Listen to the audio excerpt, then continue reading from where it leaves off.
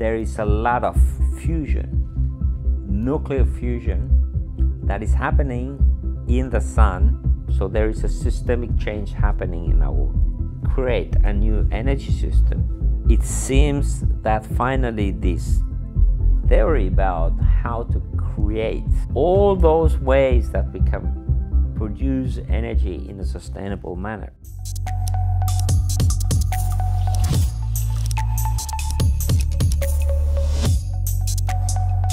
Hi, here is Markku Wilenius, your traveling futurist.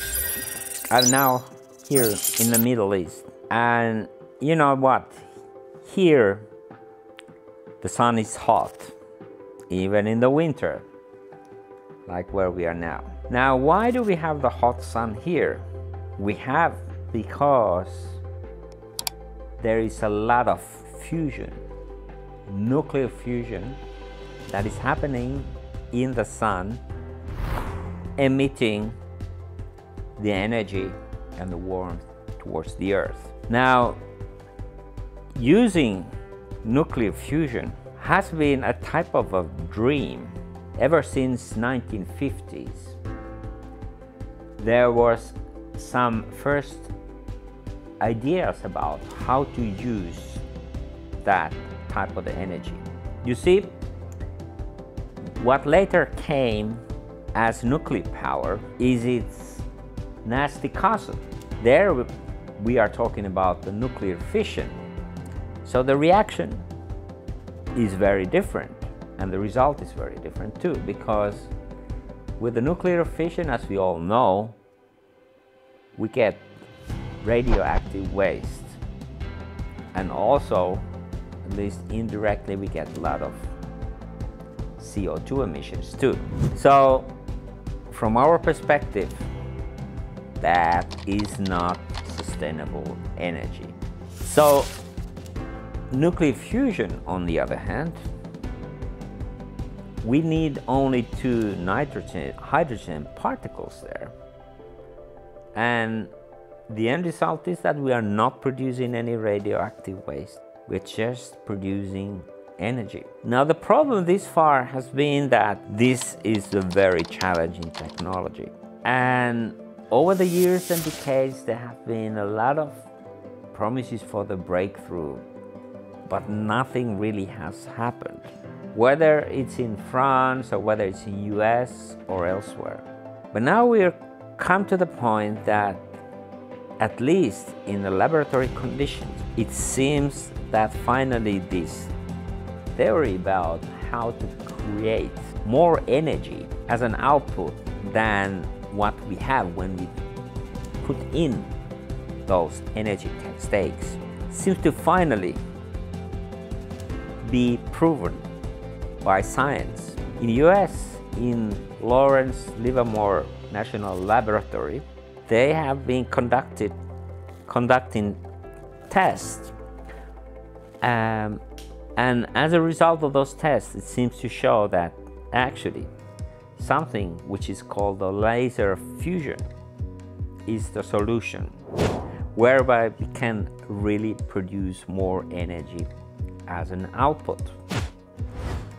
And even if it's done in the laboratory scale to the extent that we're talking about the heat that amounts to warming up a water in a kettle, the principle on which it works is tantalizing and it's shaking the world right now. Because now it's the first time that this theory has been proven that it works and now we can see how there might be the, the next and the next steps when we start slowly to scale up and bring this energy to the use of the world.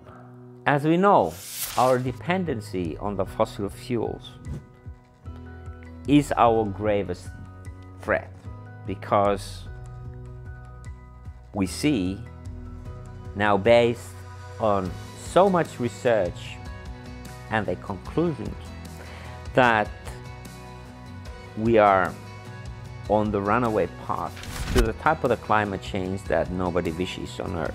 Already we have a lot of records that prove that we are getting into this type of the weather patterns that are more extreme in all parts of the world. So there is a systemic change happening in our weather patterns. So, and this is all because of the greenhouse gases that we have put into the atmosphere. And as a result of that, there is a very different kind of atmosphere now above us. So as a part of healing the system, so to say, we need to change our energy system. It's not the only solution that we have, but when it comes to what we can do with our technology and with our sort of tools and measures that has to do with how we run our economies. Changing the energy system is by far the most important.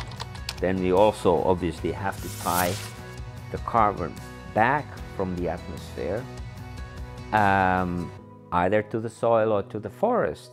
But as said, in addition to this, we need to change the system so that we are not emitting new greenhouse gases, new carbon dioxide in the atmosphere. And there we get to the point of why fusion energy would be so important for us.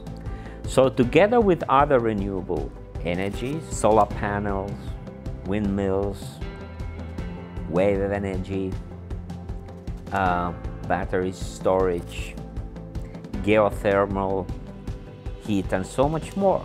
All those ways that we can produce energy in a sustainable manner. We need all those means. We need all the measures that we can take. Because once we create a new energy system, we will not only solve the problem of the climate crisis, we will also solve the problem of our economy, which is because of our use of the fossil fuel, not efficient, uh, not productive in any sense, and in addition, it's causing us a lot of political harm. And in addition to that, it's causing destruction in our nature. So all these things combined, we need to be grateful if this fusion energy will finally come true. Subscribe to my channel. See other related videos and learn more about your future.